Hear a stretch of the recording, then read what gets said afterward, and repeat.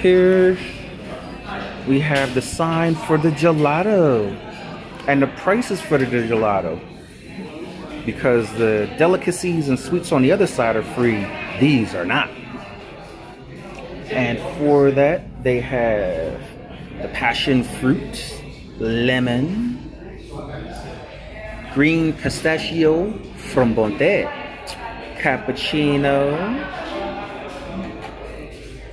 the core de cacao, and vanilla.